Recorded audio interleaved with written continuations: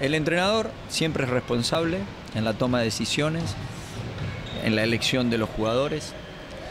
Este año eh, he tomado ciertas decisiones con ciertos jugadores que me parece que desde el punto de vista deportivo, estrictamente deportivo, fueron de bueno a muy bueno. Jugamos cada 48 horas. Necesitamos gente saludable. En el camino podemos perder, pero tenemos que seguir construyendo. Veremos cuál es el costo. Entonces, de esta manera, no solo estoy cuidando, los, creo que estoy cuidando los intereses de todos, porque ya tengo demasiadas cuestiones eh, de, a considerar para ir manejando y equilibrando las cargas y salir definitivamente de ese círculo vicioso que fue desde el inicio de la temporada, ir perdiendo jugadores. Fíjense que no he tenido tiempo con mi cuerpo técnico de hacer un balance hasta, el día de hoy de cuántas ausencias tuvimos. Por eso, entonces, en este preciso instante que acabamos de perder, mi pregunta es, ¿es mucho o es poco lo que está haciendo Regata Corriente? Yo lo que busco siempre, eh, tanto en casa como afuera, es competir con buenos equipos que quieren eh, ir subiendo las posiciones y algunos con necesidad de ganar y tenemos que estar a la altura de, de, de la circunstancia. Eh, nadie va a venir en el partido a decir, bueno, este te lo regalo.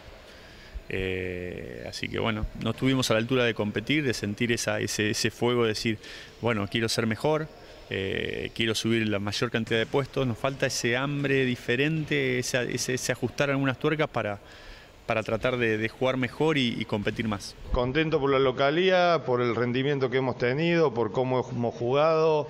Eh, yo creo a muchos equipos eh, dominamos en, en rendimientos eh, y bueno, así que a pesar de bajas, de empezar sin Lucas, por a veces sin Fede, ahora terminamos sin Leo, siempre pudimos cubrir y, ser fuerte local.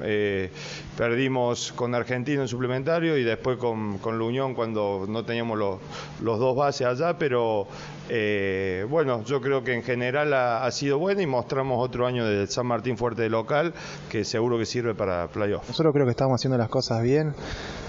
Yo estoy seguro que vamos a entrar a playoff, es nuestro objetivo y estamos cerca y lo vamos a lograr. Así que si seguimos jugando con esta intensidad y podemos recuperar de a poquito a los que están lesionados, creo que vamos a eh, lograr el objetivo y hasta podemos llegar a agarrar la posición que tenemos ahora, que es muy buena. Es una liga tan pareja que los playoffs, el, el, primer playoff va a ser muy parejo y cualquiera va a poder ganar, me parece. No hay localidades tan fuertes como para no poder ganar playoff.